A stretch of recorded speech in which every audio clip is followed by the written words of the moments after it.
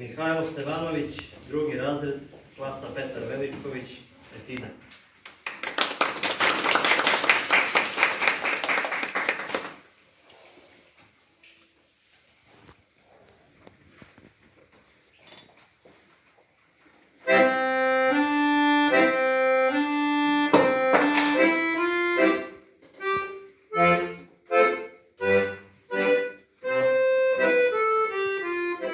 thank you